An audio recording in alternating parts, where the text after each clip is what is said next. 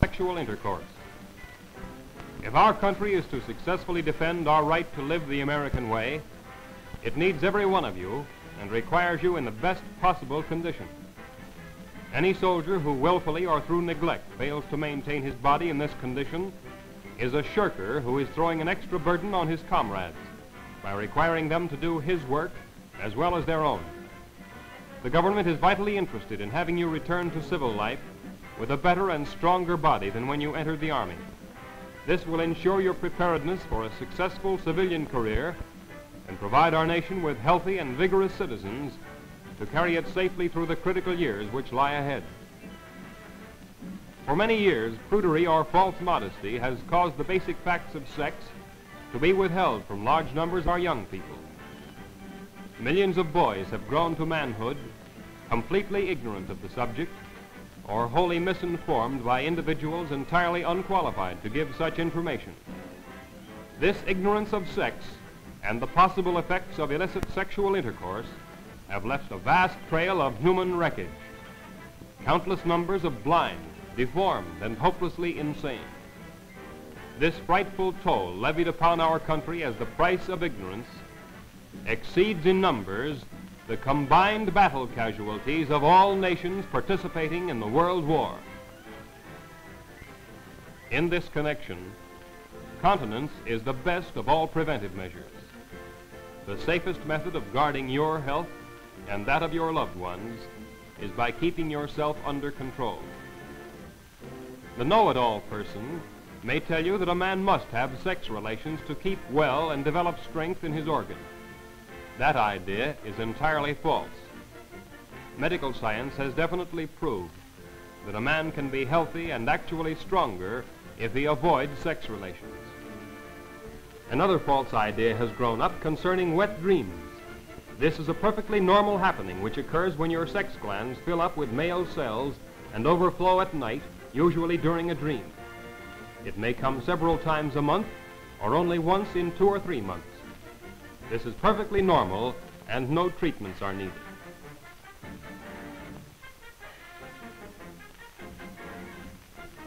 For the healthy athletic individual, continence pays big dividends in physical strength and good health.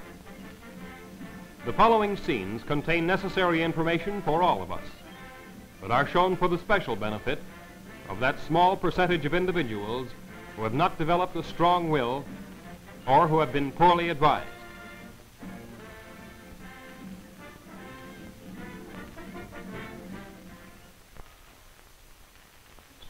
You are probably aware, that half a dozen new cases have broken out in camp during the past couple of weeks. And the medical officer has secured a print of War Department film on venereal diseases. I'll post this order for the soldiers to see the film. Yes, sir.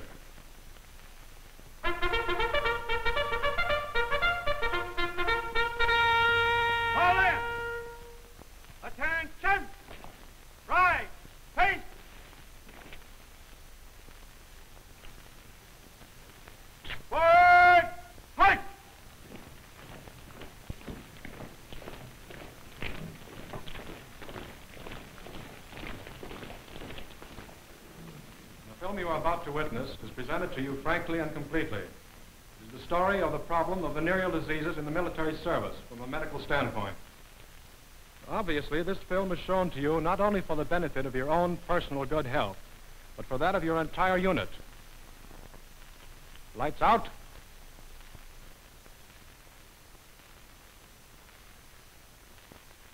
As an officer of the Army Medical Corps, I wish to bring your attention to an important phase in the preservation of your health. The Army recognizes the risks present with a large number of men in the satisfaction of their sexual impulse. The greatest risk is that of venereal diseases acquired during the sexual act. You will ordinarily not contract sexual diseases if there is no sexual act performed. In that respect, continence, if not total abstinence, is the best of all preventives. However, in the event of contact with a contaminated woman, you must bear in mind that there are available to you, through your own medical corps, specific preventives and cures for specific infections. On that slide, there are many germs that you cannot see with the unaided eye. However, if we look through this microscope, we can see what is meant by a specific germ. Here is the organism which causes sleeping sickness. Here is the organism which causes malaria. And this, the specific germ of gonorrhea. This is the specific germ of syphilis. These germs, if allowed to enter the body, either through the skin or through mucus-lined openings, may destroy your life. The mucus-lined openings through which germs may enter your body are the mouth, the nose, and the urethral canal. Some further illustrations are necessary to show you how these germs attack parts of your body. As we go along, let us study the male anatomy. Most men know less about their own bodies than they do about their automobiles.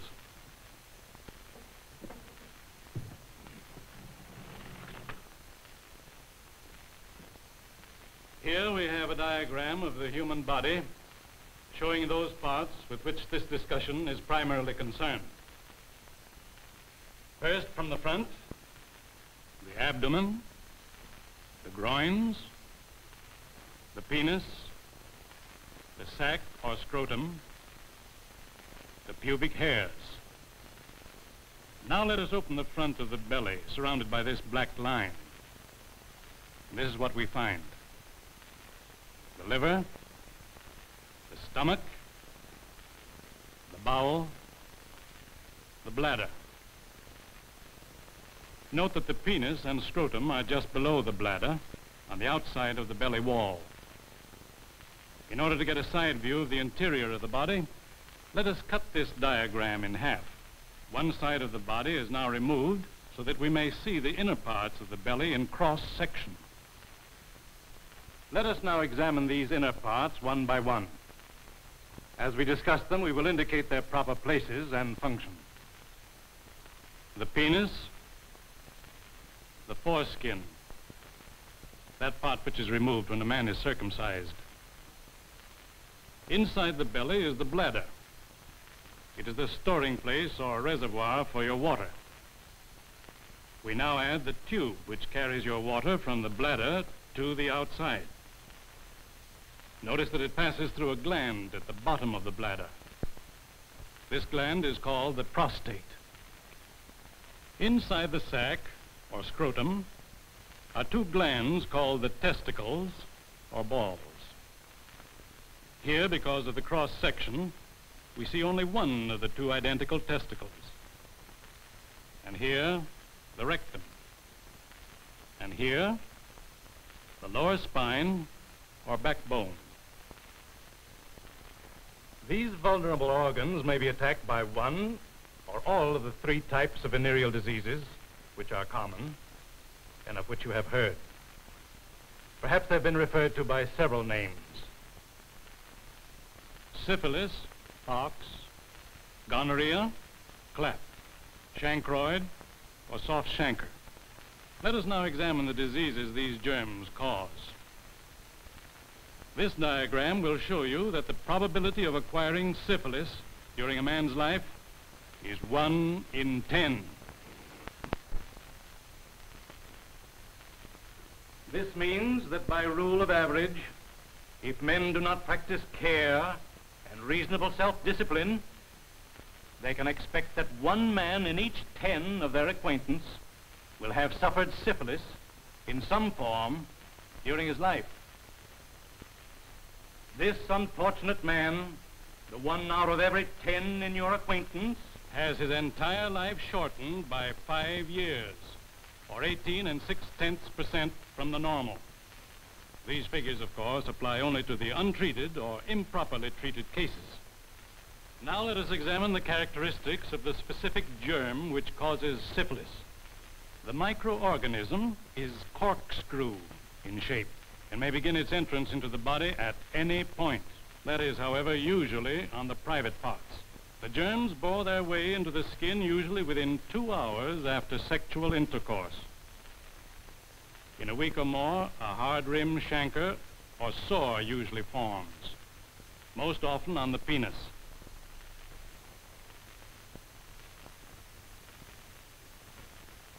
Although it may appear on the lip after kissing contact, by the time the sore has appeared, the germs have been distributed by the blood to every part of the body. They may produce serious damage unless they are killed by the injection of the proper drugs. These sores, or hard chancres, when present, are usually the first sign of a syphilis infection. Many times, however, they do not appear, and their absence leads the infected person to a false sense of security. This soldier was fortunate. Fortunate since the sore appeared, and it was therefore possible for him to seek early treatment. The early discovery and proper treatment of syphilis is vital to any infected person. On the other hand, this man was by no means so lucky, although his appearance is normal.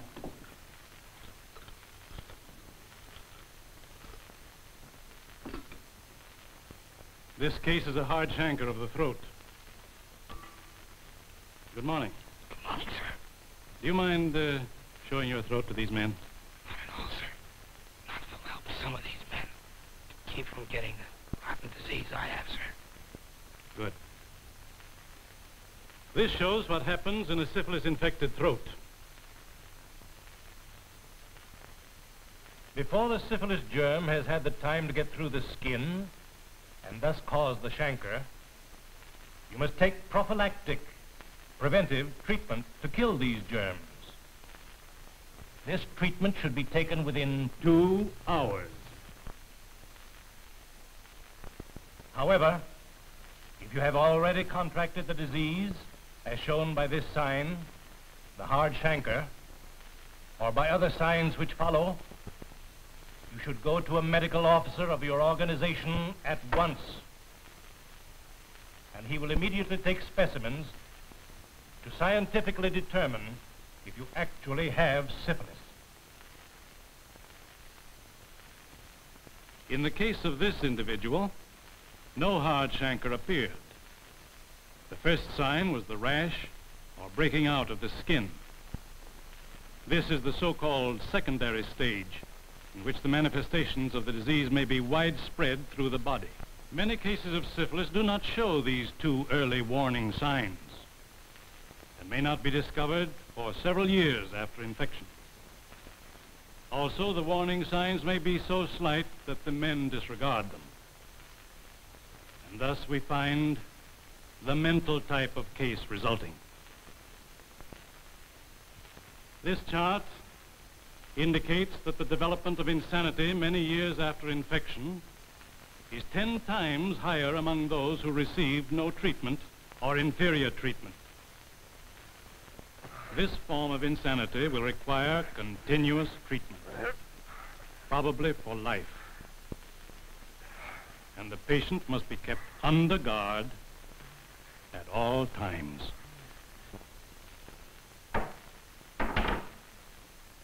The most important facts to remember about the prevention of these tragic cases of syphilis are, first, they can be prevented by taking prophylactic treatment.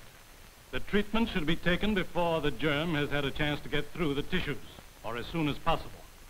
Second, that practically all cases of syphilis are curable if discovered early in the first or chancre stage and thereupon treated. Third, that you can secure proper medical treatment from the Army Medical Corps. Here again is another sexual menace, the specific germ causing gonorrhea or clap.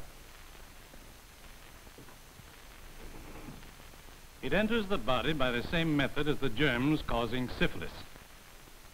During sexual intercourse, the sticky matter inside the female organs gets under the foreskin or in the opening of the penis.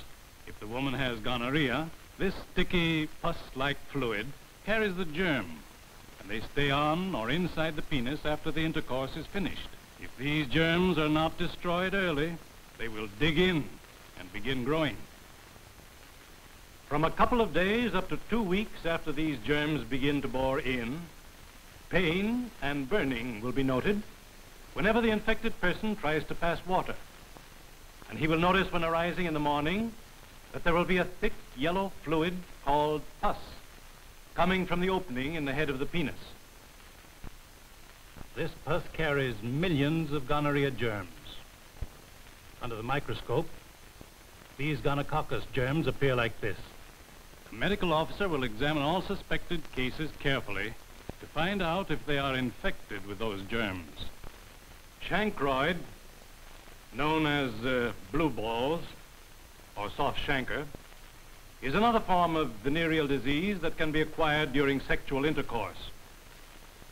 This diagram will give you a graphic idea of the extent of this virulent disease. The head and shaft of the penis and the skin of the abdomen or scrotum may have several sores. If not treated, they will spread rapidly in size. This case, for example, failed to see a medical officer promptly. These swellings are like boils, and when opened, let out a lot of pus. They take a long time to heal, and the permanent scars usually remain. Any of these complications may result from neglect or from a case treated by so-called clap doctors. Do not permit yourself to be treated by a quack or druggist. They will do you more harm than good. This man is taking not only his own life and sanity in his hands, but is endangering the health of all of his associates by not reporting to his own medical officer for treatment.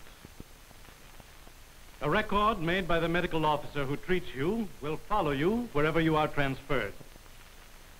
It'll be used only to keep the medical officers who will treat you informed as to the progress of your case and as a history of the treatment you have received. Careful explanation has been given you of the venereal diseases to which you may be exposed. I have also explained to you the proper method of prevention and cure. Do not think that you are the lucky one to go on unscathed. Germs know no distinction between one man and another.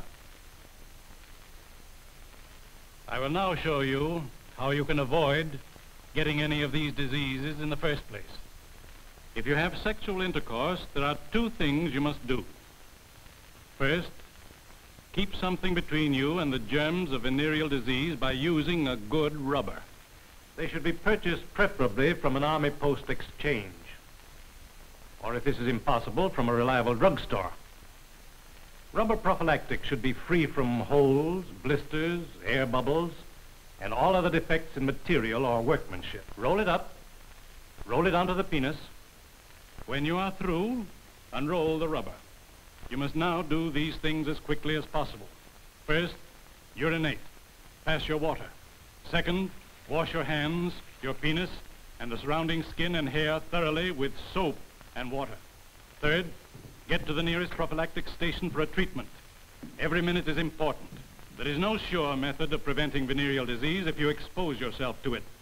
These methods will prevent most infections if taken soon enough and performed thoroughly enough. In view of what we have seen and talked of here, I'm sure it is easy for you to understand how important it is for your own sake to take treatment as soon as possible after your sexual intercourse. Do not allow the germs to get so far inside the body that it'll be hard for our medicine and treatment to reach and kill them. At your Army hospital, you can secure the best possible prophylaxis and treatment. Army hospitals have the latest equipment and use the latest drugs. You cannot secure better treatment elsewhere, regardless of the price you might pay. The medical officers who treat you are well trained and must present evidence of high professional qualifications before they are commissioned. Their service to the Army man is free.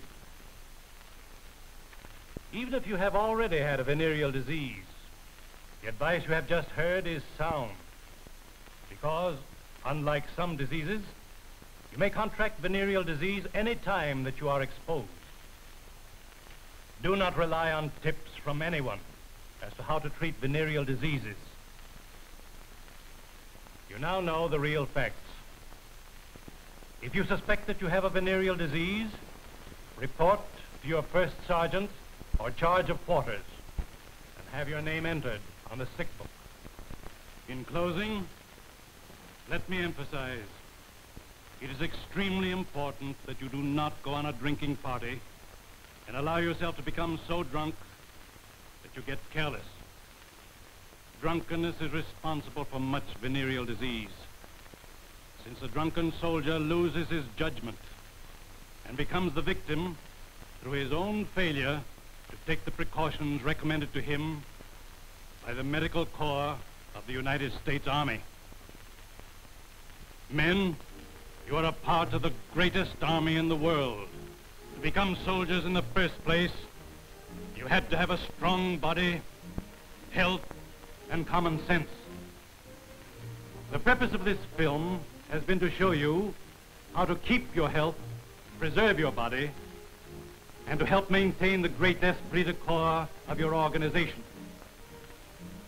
It is hoped that you will use your good common sense and continue to be good soldiers and citizens in the service of your country.